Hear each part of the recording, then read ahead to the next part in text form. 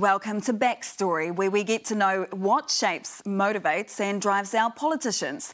This week, the poly politician who's from a long line of Taranaki farmers and got special treatment from her school principal.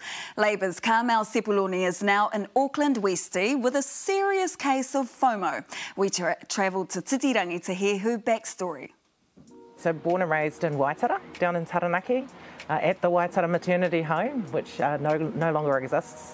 I've got two sisters, an older sister and a younger sister, so I'm the middle child. Parents from completely different backgrounds who, um, yeah, raised us down there. He came over to New Zealand in 1964, I think, and had an uncle who was down in Taranaki, so he moved down there and started off working on the railways.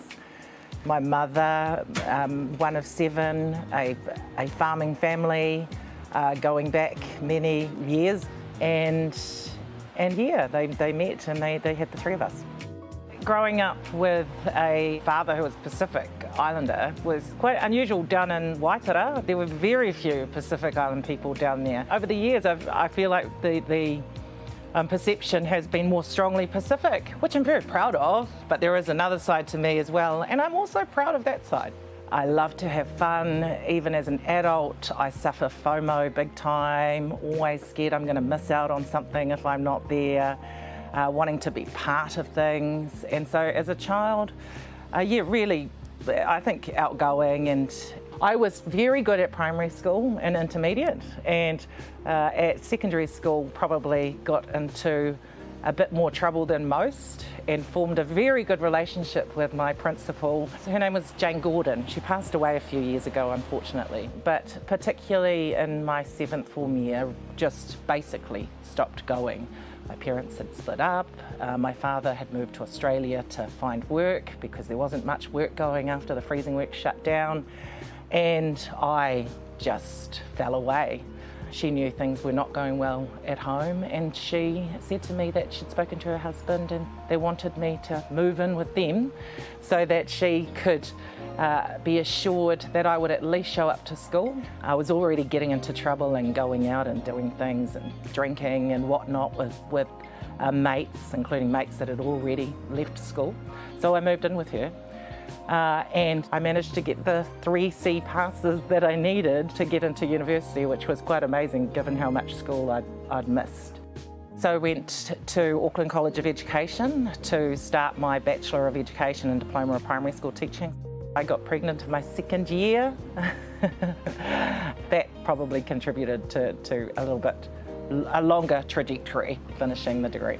It's amazing how many people thought that was it you know, that, you know, you get pregnant at that age and life must be over. And it never even crossed my mind that I wouldn't keep going. Of course, I was going to keep going and dragged him around with me uh, for, for many classes with lots of friends who'd look after him whilst I was attending my classes.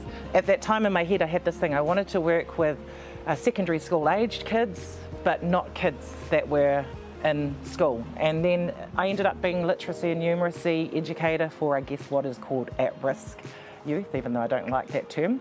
Uh, but 15, 16, 17, 18 year olds who had left school early or been kicked out of school. Growing up, I'd never been to Samoa. So my father would go back uh, occasionally uh, for different reasons, uh, but we as a family never went. But I didn't want to go for a holiday. I wanted to go uh, to live. And so I decided to go and teach there just under a year. I was there, uh, and it was amazing. It's a constant journey, this identity thing. Uh, I've never felt like I've got any kind of identity crisis, but I'm on this wonderful learning journey, getting to know uh, my own heritage and, and by virtue of doing that, myself.